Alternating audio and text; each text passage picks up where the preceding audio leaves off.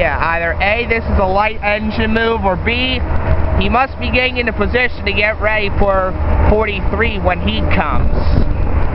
Because what's going to happen is, what's going to happen is, right up that way, 43 is going to come in with an electric locomotive. He's coming out of Trenton, New Jersey. And then 145 is going to couple up to him, and they're going to continue the journey out to Pittsburgh.